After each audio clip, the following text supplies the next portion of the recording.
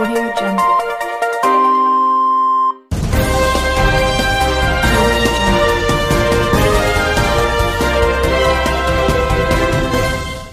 District police Pakpattan के नए तैनात होने वाले डीपीओ पाकपतन नजीबुररहमान बगवी ने अपने अहदे का चार्ज संभाल लिया इस मौके पर डीएसपी इकराम खां हेडक्वार्टर नवी सरवर और सर्कल और लीगल तसदक हुसैन ने आने वाले इस्तकबाल किया। पुलिस के चाको चौबंद दस्ते ने डीपी ऑफ़िस में नजीबुर रहमान बगवी को सलामी पेश की।